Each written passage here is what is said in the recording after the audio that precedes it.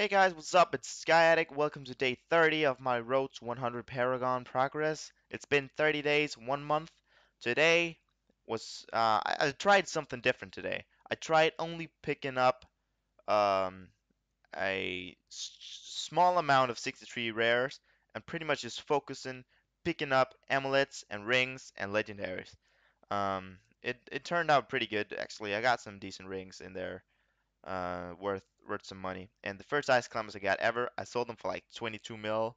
Uh, they sold pretty fast, so I'm pretty happy with that. They didn't have movement speed, but they were pretty decent.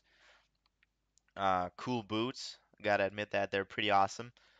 Um, and uh, today I also got 92 Paragon to 93, so that's one level. 260 mil XP today. Um, and then 11 legendaries and one set item. And that set item was a Natalya's cloak. And I'm not identifying that yet. I will do that after 100. I have a lot of unidentified items in my stash. Also have some mule characters that is just holding that. So at at level 100, I will identify it all, see if it's worth something, and uh, hopefully some of it will be sellable. So uh, yeah, check out the description for my calculations and my numbers down there. And thanks for watching, guys.